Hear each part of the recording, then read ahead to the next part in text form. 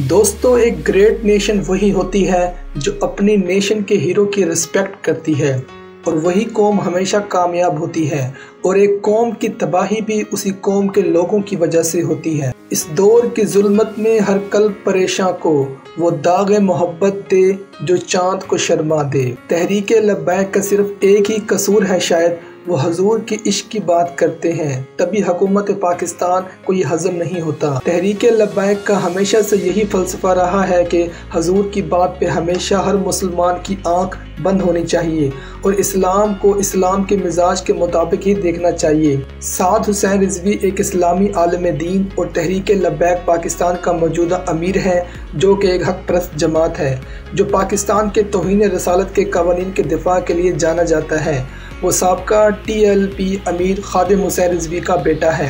12 अप्रैल 2021 को उसे गिरफ़्तार किया गया था। इसकी अचानक और गैर मुतव गिरफ्तारी की वजह से तहरीक लबैक पार्टी की जानब से मुजाहरे हो रहे हैं। साद रिजवी ने 2015 तक तो अपने वालद साहब के साथ रहकर उनके साथ काम किया, ड्राइविंग वगैरह सफ़र हजर किया, लेकिन बाद में खादिम रिजवी ने अमली तौर पर मैदान में आने की नसीहत की।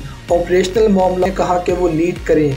हर मैदान में उन्हें फ्रंट से लीड करने का कहा।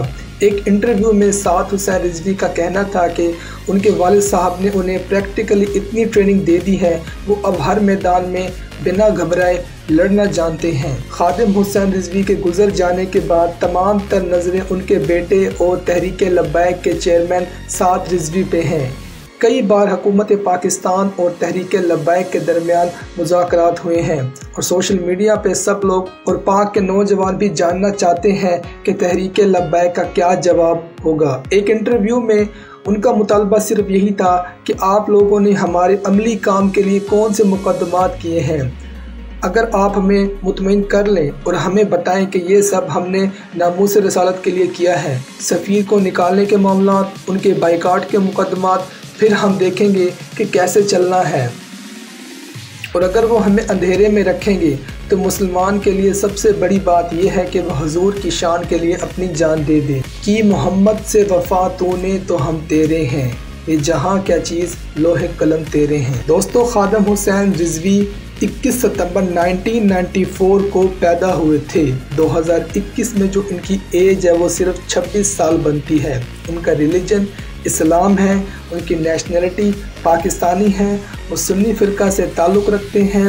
और अगर पॉलिटिकल पार्टी की बात करें तो वो तहरीक लब्बैक पाकिस्तान के चेयरमैन हैं।